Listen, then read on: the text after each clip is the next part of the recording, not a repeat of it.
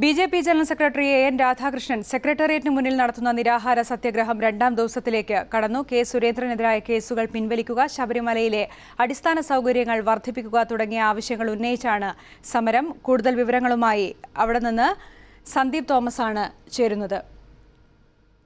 സന്ദീപ് എങ്ങനെയാണ് പ്രതിഷേധം തുടരുന്നത്? ഇന്ന് പ്രമുഖരാരെങ്കിലും എത്തിയിട്ടുണ്ടോ സമരപന്തലിലേക്ക്?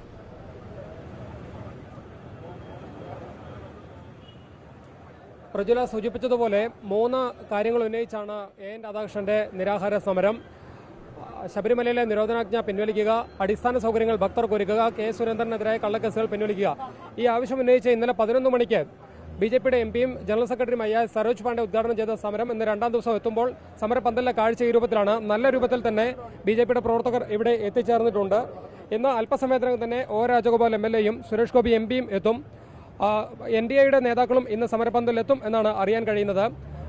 കേരളത്തിന്റെ വിവിധ ഭാഗങ്ങളിൽ നിന്നായി ഒരു കോടി ആളുകളുടെ ഒപ്പ് ശേഖരിച്ച് ഗവർണർക്ക് കൊടുക്കാൻ തീരുമാനമുണ്ട്. ഈ വിഷയം പാർലമെന്റിൽ സജീവമായി ഉന്നയിക്കാനും ബി ജെ പി തീരുമാനിച്ചിട്ടുണ്ട്. ആ ഒരു പശ്ചാത്തലത്തിൽ സെക്രട്ടേറിയറ്റിന് മുന്നിൽ നടക്കുന്ന ഈ സമരം വലിയ തോതിൽ വളരെ ശക്തമായ രീതിയിൽ തന്നെ മുന്നോട്ട് കൊണ്ടുപോകാനാണ് തീരുമാനം. ശ്രീ എ എൻ രാധാകൃഷ്ണനെ കണ്ടത് പ്രതികരിക്കുകയാണ്. രണ്ടാം തരത്തിലേക്ക് കടക്കുന്നു. ഈ സമരത്തിന് അതായത് ശബരിമല വിഷയത്തിൽ ബി ജെ പി നടത്തുന്ന സമരത്തിന് ബദലായി തന്നെ ഇവിടെ വനിതാ മതിൽ ഉൾപ്പെടെയുള്ള കാര്യങ്ങളുമായിട്ട് സർക്കാർ മുന്നോട്ട് പോവുകയും ചെയ്തു. എങ്ങനെയാണ് നിങ്ങളുടെ ഈ ഘട്ടത്തിൽ ഒരു പ്രതികരണം? വനിതാ മതിൽ കേരള സർക്കാർ വിളിച്ചു കൂട്ടിയ ഒരു മീറ്റിങ്ങിന്റെ അടിസ്ഥാനത്തിൽ നിശ്ചയിച്ച ഞാൻ മനസ്സിലാക്കുന്നത് അത് ഇന്ത്യ ഗേറ്റ് പോലെയാണ്. ഒരു ഭിത്തിയിൽ ഇപ്പം ഇന്ത്യ ഗേറ്റിൽ ഭിത്തിയില്ല. എവിടെ നിന്ന് ആളുകൾ കൊണ്ടുവരാൻ പോകുന്നത്? ആരാണ് ഈ സമരത്തോട് സഹകരിക്കുന്നത്? ആരെങ്കിലുമൊക്കെ സഹകരിക്കണമെങ്കിൽ ഇപ്പോൾ ശബരിമലയിലേക്ക് പിണറായി വിജയന്റെ ആഹ്വാനപ്രകാരം മഹിളകൾ ശബരിമലയിൽ പോകില്ല ആരും വന്നില്ലല്ലോ.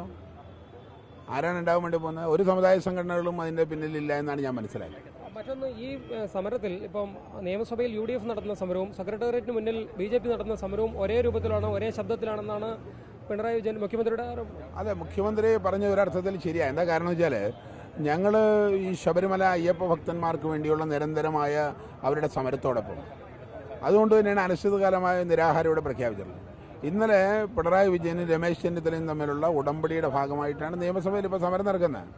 അല്ലെങ്കിൽ എന്തിനാ അവർ ഇത്തരത്തിൽ സമരം നടത്തുന്നത്? അവർക്ക് വലിയ സമരങ്ങൾ നടത്തൂടെ? എവിടെയാ സമരം? ഏതെങ്കിലും ഒരു സമരമുഖമുണ്ടോ? ഇപ്പോൾ യു ഡി എഫിനെ സംബന്ധിച്ചിടത്തോളം ഈ ശബരിമല അയ്യപ്പ വിശ്വാസികൾക്ക് വേണ്ടി ഒരു ചെറുവിരൽ അവർ അവർക്ക് നിലപാടില്ല. ഞങ്ങളുടെ അഖിലേന്ത്യാ അധ്യക്ഷൻ ഞങ്ങളുടെ കൂടെയാണ്. ഞങ്ങളുടെ അഖിലേന്ത്യാ കമ്മിറ്റി ഞങ്ങളുടെ കൂടെയാണ്. രാഹുൽ ഗാന്ധി കോൺഗ്രസിന്റെ കൂടെ ഉണ്ടോ? Rahul Gandhi A I C C കോൺഗ്രസിന്റെ കൂടെ ഉണ്ടോ ആരുടെ കൂടെയാണ് ശബരിമല വിഷയത്തിൽ ആദ്യഘട്ടത്തിൽ ബി ജെ പിക്ക് ഉണ്ടായിരുന്ന ഒരു മുൻകൈ. അത് പിന്നീട് അല്പം നഷ്ടപ്പെട്ടു അല്ലെങ്കിൽ അല്പം ഭിന്നത വന്നു എന്ന ഘട്ടത്തിൽ ഇപ്പോൾ ദേശീയ നേതൃത്വം തന്നെ ഇവിടുത്തെ സമരപരിപാടികളിലും മറ്റും ഒരു കൃത്യമായ നിരീക്ഷണം കൂടി നടത്തുന്ന ഒരു സാഹചര്യമുണ്ട് അല്ല നിങ്ങൾ മനസ്സിലാക്കേണ്ട ഒരു സംഭവം ഇവിടെ ഒരു പോലീസ് രാജ്യമല്ലേ ഇപ്പം നിങ്ങൾക്ക് പോലും എന്നോട് സംസാരിക്കുന്ന പോലെ പിണറായിയോട് സംസാരിക്കാൻ പറ്റുമോ? നിങ്ങൾ എന്നോട് സംസാരിക്കുന്ന പോലെ പിണറായിയോട് സംസാരിച്ചാൽ നിങ്ങൾ ജയിലില്ല പത്രം ദൃശ്യമാധ്യമങ്ങൾ എല്ലാത്തിനും സെൻസറിങ് അല്ലേ കേരളത്തിൽ? ഞങ്ങളുടെ ഒരു പ്രിയപ്പെട്ട നേതാവിനെ എത്ര ദിവസമായി പിടിച്ച് ജയിലിലിട്ടത്? എന്താ കുറ്റം ചെയ്തത്? ഞാൻ കുറച്ച് ഒരു പന്ത്ര- പന്ത്രണ്ട് മണിക്ക് നിങ്ങൾ പത്രക്കാരെ കാണുന്നുണ്ട് പതിനഞ്ച് എന്താ അയാളുടെ പേരുള്ള കേസ്? എന്തിനാണ് ജയിലിലിട്ട് പേടിപ്പിക്കുന്നത്? പിണ- കെ സുരേന്ദ്രന് കോടിയേരി ബാലകൃഷ്ണൻ ഭയമാണ് പിണറായി വിജയന് ഭയമാണ്. ജയിലിലിട്ട് കൊല്ലാൻ വേണ്ടി പോവാണ്. ഒരു റൂമിൽ എത്ര ആളുകൾ അടച്ചിട്ടേക്കണേ? കീറപ്പായിൽ ഇട്ട് ഒരു റൂമിനകത്ത് ഒട്ടനവധി ആളുകളിട്ട് പീഡിപ്പിച്ച് കൊല്ലല്ലേ? സമരത്തെ അതിന് മുഴുവൻ അതിജീവിച്ച് ജനങ്ങൾ മുന്നോട്ട് പോയില്ലേ? ശരി സന്ദീപ് ഇടപെടുകയാണ്. സർക്കാരിനെതിരെയാണ് ആരോപണങ്ങൾ. B J P general secretary N Radhakrishnan ഉന്നയിക്കുന്നത്. അദ്ദേഹം നടത്തുന്ന നിരാഹാര സമരം സെക്രട്ടേറിയറ്റിന് മുന്നിൽ രണ്ടാം ദിവസത്തിലേക്ക് കടന്നിരിക്കുകയാണ്. അവിടെ നിന്നാണ് പ്രതികരണം.